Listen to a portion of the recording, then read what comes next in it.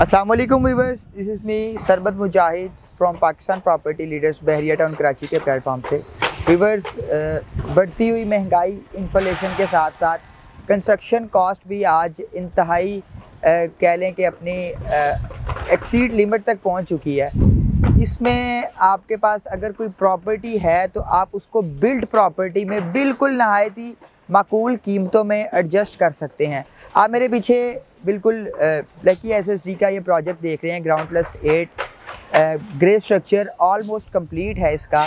Midway ए की location है head office के बिल्कुल सामने, और मिडवे बी बी इसके बिल्कुल मतलब सराउंडिंग में अच्छी लोकेशंस हैं।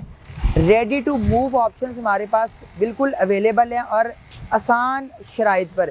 यानी कि आपका कोई रेडी प्रॉपर्टी है इवन के मिच्योर प्रॉपर्टी की मैं बात कर रहा हूँ, जिससे आपको रेंट नहीं मिल रहा या आरओआई कोई भरपूर आप हासिल नहीं कर रहे इन्फ्लेशन की वजह से बिज़नेस नहीं हो रहा वहाँ पर तो आप यहाँ पर इन्वेस्ट करके, उसको एडजस्ट करके एक अच्छा आरओआई इन फ्यूचर हासिल कर सकते हैं। इसके अलावा इसके अलावा अगर आपके पास कोई प्लॉट है या कोई ऐसी बिल्ड प्रॉपर्टी या बैरिया होम्स के विलाज हैं आपके पास, आप वो भी इसमें बड़े माकूल तरीके से एडजस्ट कर सकते हैं। We have so many opportunities to adjust क्योंकि देखा जाए तो कैश फ्लो मार्केट में कम होने की वजह से बहुत सारी चीज़ें ऊपर नीचे हो रही हैं।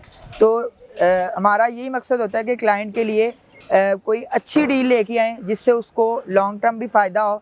और अब जैसे कि रियल स्टेट फैक्टर काफ़ी इफ़ेक्ट है। तो इसमें भी आपको फ़ायदा पहुँच सके।